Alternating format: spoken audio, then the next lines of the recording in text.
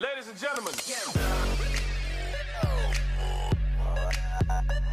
वालेकुम, मेरा नाम शराज और आप लोग देख रहे हो शराजी कार। तो आज इस वीडियो के अंदर हम बात करने वाले नई करोला के बारे में। जी हाँ ट्यूटा कंपनी ने पाकिस्तान में नई करोला लॉन्च कर दी है, जिसे उन्होंने 2023 करोला का नाम दिया है। तो अगर आप लोग ये जानना चाहते हैं कि नई करोला के अंदर आप लोग को क्या क्या देखने को मिलने वाला है तो आप लोग इस वीडियो को पूरा देखिएगा। तो चलिए जी, वीडियो शुरू करते हैं बात करते हैं ट्यूटा करोला के बारे में। तो आप लोगों को ये बात तो पता होगी ट्यूटा करोला पाकिस्तान में काफ़ी अरसे से चल रही है और दो के अंदर इसकी फेस लिफ्ट आए थे, जो कि काफ़ी बड़ी फेस लिफ्ट थी, जिसके अंदर गाड़ी के इंटीरियर और गाड़ी के एक्सटीरियर को भी चेंज किया गया था। तकरीबन दो हज़ार बीस के अंदर इस गाड़ी की नई जनरेशन को पाकिस्तान में टेस्ट करना शुरू किया गया था, जिसके काफ़ी चीज़ वगैरह भी इंटरनेट पे देखने को मिली थी। लेकिन अभी तक इस गाड़ी की नई जनरेशन पक्ष में लॉन्च नहीं हुई। लेकिन अभी ट्विटर कंपनी ने ट्विटर क्रोला 1.6 के अंदर कुछ चेंजेस किए हैं और उसे ट्विटर कंपनी ने ट्विटर क्रोला 2023 का नाम दिया है। ये जो चेंजेस आए हैं, ये बस 1.6 के अंदर आए हैं 1.8 के अंदर कोई भी चेंज नहीं आया। और आप लोगों को पता ही होगा कि 1.3 तो खत्म ही हो गया है। तो चलिए बात करते हैं कि नई क्रोला के अंदर 1.6 के अंदर आप लोगों को क्या क्या देखने को मिलने वाला है। तो नई ट्विटर क्रोला 1.6 के अंदर तीन चेंजेस किए गए हैं। पहला चेंज ये कि इस गाड़ी के अलोई व्हील चेंज कर दिए गए हैं। जो कि दिखने में काफ़ी अच्छे भी लग रहे हैं। मुझे तो काफ़ी स्पोर्टी लुक लग रही है। बाकी आप लोग स्क्रीन पे देख के मुझे बताया कि आप लोग को कैसे लग रही है। इसके अलावा गाड़ी के अंदर आप लोगों को जो ट्रांसमिशन पहले मिलती थी, वो ऑटोमेटिक ट्रांसमिशन थी, जो कि फोर स्पीड थी। लेकिन अब इस गाड़ी के अंदर आप लोगों को सीवीटी ट्रांसमिशन मिलने वाली है। वैसे तो इस गाड़ी के तीन वेरियंट है। एक मैनुअल ट्रांसमिशन वाला है, लेकिन उसके अंदर आप लोगों को मैनुअल ट्रांसमिशन मिलेगी। लेकिन बाकी जो दूसरे दो वेरियंट है, उनके अंदर आप लोगों को सीवीटी ट्रांसमिशन ही मिलने वाली है। इसके अलावा एक और चेंज किया गया गाड़ी की जो टच स्क्रीन है, उसे चेंज कर दिया गया है। अभी आप लोगों को new Alpine entertainment touch screen मिलने वाली है जो कि नाइन इंच की है। ये जो स्क्रीन है और ये जो चेंजेस है, ये आप लोग को ऑटोमेटिक ट्रांसमिशन के अंदर मिलने वाले हैं। जो मैनुअल ट्रांसमिशन है, उसके अंदर आप लोग को ये चेंजेस नहीं मिलने वाले क्योंकि ट्विटर कंपनी ने इसको ट्यूटा क्रोला अल्ट्रस वन सिक्स के नाम से लॉन्च किया है, जिसका मतलब ये कि इसके अंदर मैनुअल ट्रांसमिशन शामिल नहीं है। तो मैनुअल ट्रांसमिशन के अंदर भी आप लोग को अलवीज नहीं मिलने वाले नए, और ना ही आप लोगों को अल्पाइन की नौ इंच की स्क्रीन मिलने वाली है। तो अब आप में से ज़्यादा लोग ये सोच रहे होंगे कि नए फीचर तो मिल रहे हैं तो गाड़ी की कीमत भी ज़्यादा हुई होगी, लेकिन ऐसा नहीं हुआ। गाड़ी की जो पहले कीमत थी, उसी कीमत के अंदर इस गाड़ी को दोबारा लॉन्च कर दिया मतलब फीचर ज़्यादा कर दिए गए हैं। क्योंकि अभी पाकिस्तान में गाड़ियों की सेल काफ़ी कम हुई है तो कंपनी ने सोचा कि थोड़े फीचर ज़्यादा कर देते हैं ताकि सेल थोड़ी ज़्यादा हो जाए। और करोला की सेल भी काफ़ी कम हो रही है तो कंपनी को फ़िक्र तो होनी सुनने में आया कि इससे पहले जो फोर स्पीड ऑटोमेटिक ट्रांसमिशन मिलती थी, उसके अंदर काफ़ी जर्क्स थे और उसकी जो फ्यूल माइलेज थी, वो भी काफ़ी बुरी थी, जो की तकरीबन दस से बारह थी। लेकिन अभी कहा जा रहा है की सीवीटी के साथ ये गाड़ी तकरीबन तेरह से चौदह किलोमीटर देगी सिटी के अंदर ही, जो की काफ़ी अच्छी ट्रांसमिशन है। बाकी अगर आप लोग जिस गाड़ी का वीडियो देखना चाहते हैं डिटेल से तो मैं ज़रूर इस गाड़ी का वीडियो बनाकर आप लोगों के साथ शेयर कर दूँगा। आप लोग मुझे नीचे कमेंट करके ज़रूर बताइए कि आप लोगों को ये नए चेंजेस कैसे लगे हैं। तो ये था आज का वीडियो। ओके जी, अल्लाह हाफिज़।